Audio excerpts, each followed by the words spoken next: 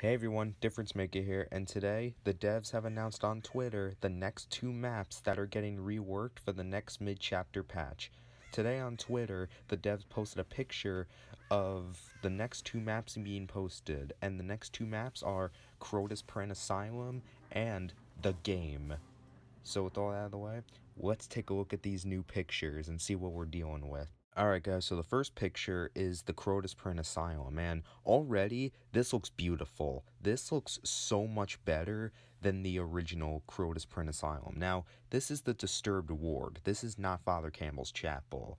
And the next picture is another view, and I can tell this is the area where there's two windows, one on the left and one on the right. This already looks so much better, because it actually looks old. It looks decrepit. It looks like an asylum and the next picture is the game.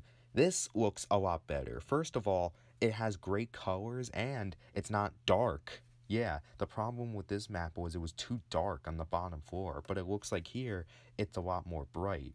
And then the final picture shows a good room. It's very good. The colors are great.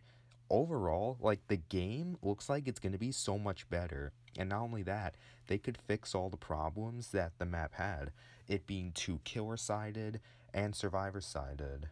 Overall, these pictures showing the new graphics look incredible, and even though they said they did announce this is only um this is only fan art. This is only art. It's not the actual in-game graphics, but this is a concept of what it's going to look like in the mid chapter. And overall, I'm very happy with these changes. Like, the game looks like it's going to be so much better because it looks a lot brighter and it looks like they'll remove those stupid pallets and make it less killer sided. And then the asylum, it looks like they're going to do Father Campbell's Chapel and Disturbed Ward. So they'll rework the nurse and clown map and make it a lot better because Crotus Prenn Asylum, specifically Disturbed Ward, sucks. It's so survivor sided. The main building is very bad. Let's hope they'll fix that map up.